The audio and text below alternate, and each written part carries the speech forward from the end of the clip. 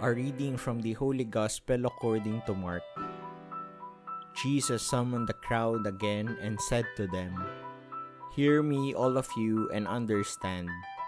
Nothing that enters one from outside can defile that person, but the things that come out from within are what defile. When he got home away from the crowd, his disciples questioned him about the parable. He said to them, Are even you likewise without understanding? Do you not realize that everything that goes into a person from outside cannot defile, since it enters not the heart but the stomach and passes out into the latrine?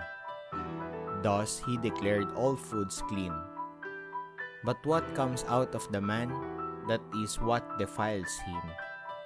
From within the man, from his heart come evil thoughts, unchastity, theft, murder, adultery, greed, malice, deceit, licentiousness, envy, blasphemy, arrogance, folly.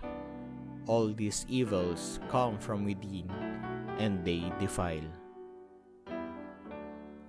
The Gospel of the Lord. What defiles? The disciples can hardly believe their ears. They asked Jesus about the parable he said earlier to the crowd. In the privacy of the house, the disciples begged to be enlightened, to be sure that they heard him right. As Jews who strictly observe particularly dietary laws, they distinguish between kosher or clean food and the unclean ones. Under no circumstance do they eat unclean food lest they become defiled. The disciples now find it strange when Jesus says that nothing that comes outside a person can defile him.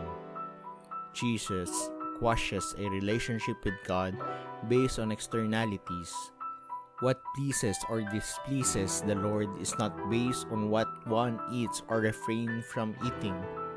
Jesus brings religiosity to a clear focus by emphasizing the inner realities of the heart and not appearances.